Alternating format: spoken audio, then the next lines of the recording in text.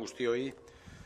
Pues sí, estamos aquí, bajo el árbol de Guernica, símbolo de nuestro autogobierno, para recordar y también para celebrar que hace diez años ETA fue derrotada por la democracia constitucional. Es decir, que los demócratas ganamos y los terroristas perdieron. Y es que Y es que después de la dictadura de Franco en Euskadi se, posó la nube negra de un terrorismo que quiso imponernos una nueva dictadura de horror y que secuestró nuestra libertad. Una violencia que atacó al Estado y a las instituciones, que atacó a los miembros de las fuerzas de seguridad del Estado, a empresarios, a periodistas, a jueces, a profesores, a políticos. Daba igual, les daba igual, porque su objetivo era acabar con la pluralidad de las ideas. Ninguna que no fuera la suya debía sobrevivir. Y era también hacer imposible la diversidad identitaria. Solo podía haber vascos como ellos querían imponer que fuéramos. Por eso supimos desde el principio que su objetivo ni siquiera era la independencia. ¿Qué va? Su objetivo siempre fue construir un proyecto totalitario, una Euskadi de una sola identidad, una sociedad en la que no cabían más que los suyos, un país que expulsaba a la mitad de su gente. Eran terroristas, fascistas y totalitarios, y les ganamos. Hace diez años, ETA fue derrotada y la democracia triunfó. Hace diez años los terroristas perdieron y los demócratas ganamos. Hace diez años recuperamos la libertad que habíamos perdido hace ochenta. El 20 de octubre de 2011, muchas personas derramamos lágrimas de alegría por lo que estaba por venir y de dolor por los que habíamos dejado atrás. Esas lágrimas desbordaron tantos años de miedo, de sufrimiento, y hoy sobre esas lágrimas vemos cómo crece igual que este árbol una sociedad libre, sin miedo y con profundos pilares éticos sobre la que construir la convivencia futura. Duela amar urte garaitu genuen etaren terrorismoa. Gaur, askatasunaren festa ospatu nahi dugu. Askatasuna, pertsona guztien eskuetara heldu zen eguna. Eta lorpen horin demokraziaren garaipena izan zen. Gure iragan iluna ezin digu, dugu aldatu. Gertatu zen, baina ikasbide, ikasbide bihurtu behar dugu gaur. Sufrimendu handia jasan genuen, bai. Orain, banan-banan, terrorismoara zuen arrazoi bakoitza desegiten ari gara, etorkizun berria sortu al izateko. Y hoy, los socialistas hemos venido a celebrar la libertad. Porque derrotar a ETA fue conquistar la libertad colectiva y recuperar la libertad individual de todos y cada uno de los ciudadanos y ciudadanas vascas. Y aprendimos que la libertad es un gran concepto que se escribe con letras mayúsculas, pero que también son muchas pequeñas cosas que se escriben con letras minúsculas y que seguramente esas son las que más se disfrutan. Porque, como dijo Jesús Eguiguren en cierta ocasión, la libertad era esto, las cosas más sencillas, la libertad de no tener que bajar la voz para decir lo que piensas, la libertad para poder caminar solo y sin miedo por las calles de nuestros pueblos y entrar en esos cascos viejos que durante tanto tiempo se nos habían vedado. La libertad era ir a comprar el pan sin llevar a los escoltas, salir en tu coche sin tener que mirar debajo. Y no hay mayor conquista que esa. Y no hay mayor disfrute de la libertad que ese. Es. Veréis, existe la tentación, y, y, lo estamos viendo con especial fuerza estos días, de leer y releer el final de ETA según el prisma desde el que cada uno quiere para tratar de ajustarlo a su discurso. O, para ganar medallas en carreras en las que ni siquiera participaron.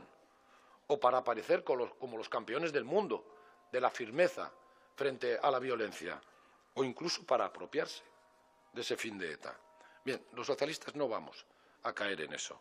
Los hechos están ahí, lo que hizo cada uno en su momento es conocido y no se puede cambiar. Y por si quedaba algún desmemoriado, yo creo que Idoya ha hecho un buen repaso de todo ello. Siempre hay batallas por el relato, pero solo hay una verdad. y la verdad del relato y de la memoria, tiene que tener muy claro que en ellas nunca el asesino puede dejar de ser el asesino. Y la víctima, la víctima.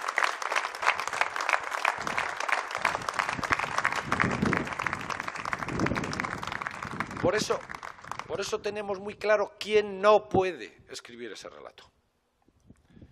Pero ayer, después de muchos años de exigírselo, la izquierda Berchale dio un paso en la dirección correcta al reconocer el error de tantos años de violencia terrorista.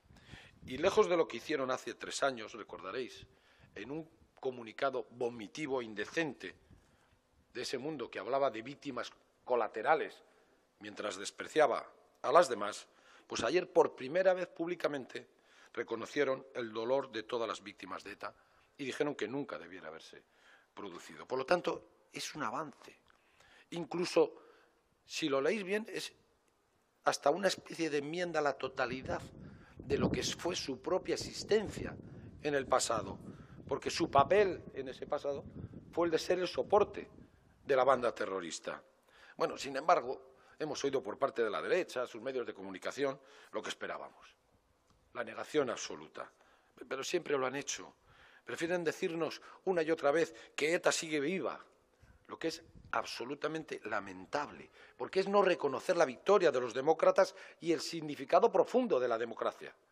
Y vuelven a utilizar el terrorismo para atacar a los socialistas. Y eso, además de lamentable, es absolutamente indecente. Pero bueno,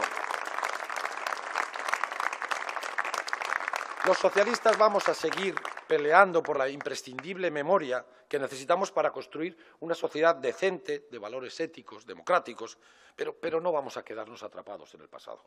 Nuestra mirada siempre ha estado en el futuro y así va a seguir siendo. Pero sí dejarme que hoy, por lo menos, recuerde una cosa. Un 7 de mayo de 2009 yo estuve aquí, en este mismo lugar, bajo este mismo roble, junto a muchos de vosotros y de vosotras, igual todos, tomando posesión como lendakari del primer gobierno socialista en Euskadi. No como primer lendakari socialista, ese fue Ramón Rubial, pero sí, el primer gobierno socialista en Euskadi. Y un mes antes, en uno de aquellos comunicados terribles con los que ETA nos despertaba periódicamente, declararon objetivo prioritario a todos los miembros de aquel gobierno que todavía no, no estaba hecho, que estaba sin nacer. Y eso nos obligó a poner escolta hasta el último de los directores. Y eso trasladó a las familias de quienes iban a formar parte de aquel gobierno esa angustia, el miedo por lo que podía pasar. Pero ninguno, ninguna de todos ellos se echaron atrás. No os echasteis atrás. Ninguno se amilanó. Y juntos empezamos a trabajar. Con muchas cosas por hacer, sí, pero con un objetivo fundamental, prioritario, aquel que Jesús Eguiguren y yo habíamos verbalizado en una de nuestras conversaciones.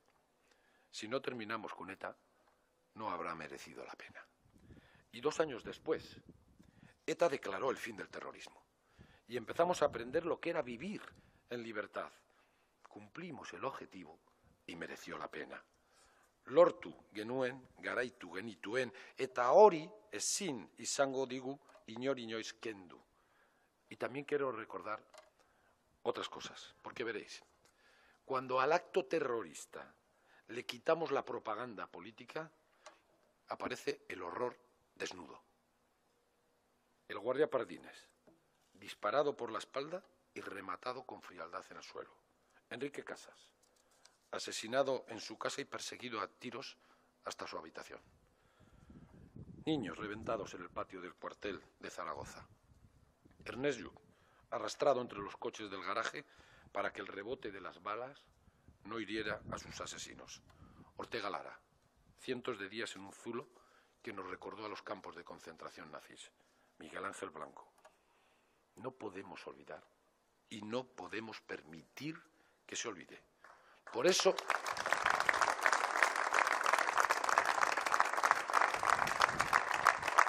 Por eso, en este, en este solemne acto de recuerdo, quiero mostrar mi respeto, nuestro respeto, a las víctimas, porque fueron un modelo de fortaleza moral para todos. Y dejadme que diga que especialmente las de los primeros tiempos, las de esos amargos años de plomo, cuando cada semana se celebraban funerales casi clandestinos y una viuda joven y arrasada por el dolor volvía a su pueblo de Galicia, de Extremadura, de Castilla, de Andalucía, con la única compañía del cuerpo de su marido asesinado. Quiero recordar a las víctimas que siguieron viviendo en Euskadi y que con no ser suficiente el asesinato de un ser querido, fueron marginadas, estigmatizadas y señaladas por una parte importante de la sociedad vasca. Y esa marginación fue seguramente la forma más inmoral, más miserable de colaboración con el terrorismo. Hoy, esas mismas víctimas que ayer eran la culpa no admitida de esta sociedad, tienen el reconocimiento institucional y social en nuestro país. No tienen que bajar la cabeza, no tienen que cambiar de acera. Son nuestro referente. Y esa es también, por encima de relatos, de medallas, de discursos de parte, la mejor muestra de que hoy somos un país más sano, más justo y más consciente de lo vivido. Un país con más fuerza para construir una convivencia futuro, futura. Pero con recordar no es suficiente. Es necesario también reflexionar, analizar cómo nos pudo pasar esto. Y es que el origen del acto terrorista es anterior al momento del tiro o la bomba. El origen es la voluntad política de imponer al conjunto de la sociedad un modelo cerrado y totalitario, porque el terrorismo es una violencia de naturaleza política.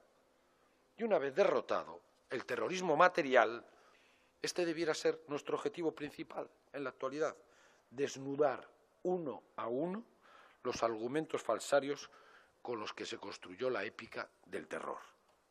Y debemos hacer el esfuerzo de mirar nuestro propio pasado con verdad, porque en Euskadi hubo personas que mataron al que pensaba diferente, pero también hubo personas que los aplaudieron. Qué terrible suenan hoy aquellas manifestaciones masivas donde bramaban ETA mátalos. Pero también hubo personas que miraban con desdén y con frialdad el sufrimiento ajeno. Y sobre todo hubo silencio. El silencio desgarrador de tantos y tantos que dejaban en la soledad a los amenazados. Por eso, también hoy que festejamos la libertad, quiero hacer un homenaje sentido a la resistencia vasca. Porque aquí hubo resistentes ante el terror. Los empresarios que no aceptaron la extorsión, los intelectuales que mantuvieron la dignidad de sus ideas libres, los periodistas que no callaban y contaban la verdad, los humildes concejales que se negaron a entregar a ETA la representación que la ciudadanía les había dado. Ellos nos demostraron que existe un valor ciudadano estoico, sin alaracas, que arriesga la vida para defender la libertad común y que no eligieron ser héroes, pero que lo fueron.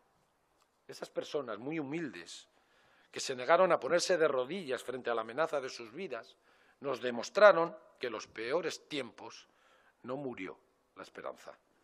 Ellos siguen siendo nuestra mejor propuesta de futuro.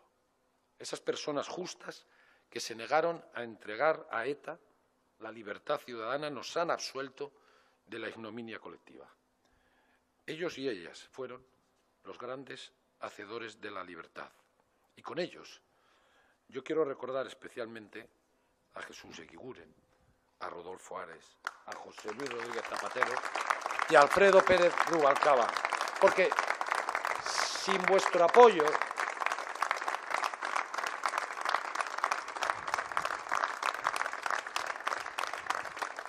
Sin vuestro apoyo, sin vuestra valentía, sin vuestro acompañamiento, esto no hubiera sido posible.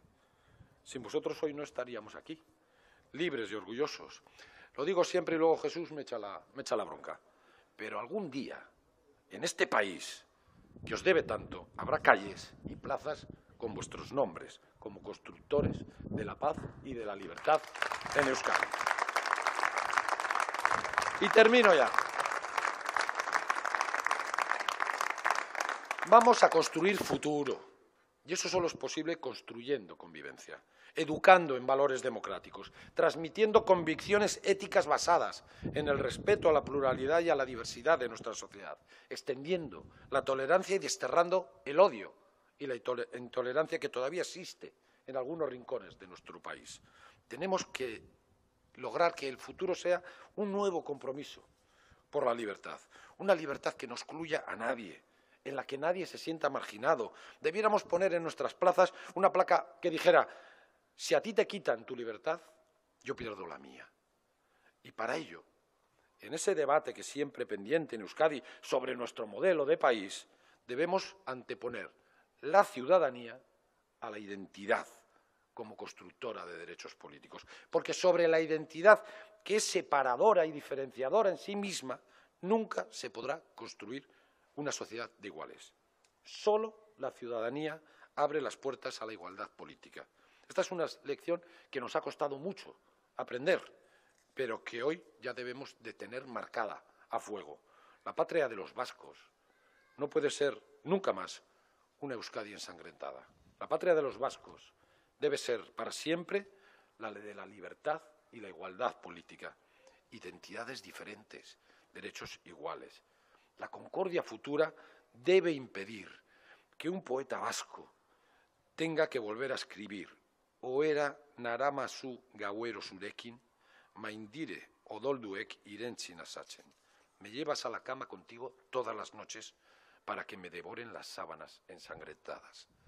Los socialistas, hace diez años, estuvimos donde había que estar porque antes, siempre, frente al terrorismo, como antes decía Idoya, habíamos hecho lo que había que hacer. Bueno, pues ahora y en el futuro, los socialistas estaremos donde habrá que estar. Y espero que nunca más sea en una trinchera en la que algunos nos quieren sepultar, sino construyendo los puentes que nos permitan avanzar unidos como país y como sociedad, en paz, libres e iguales.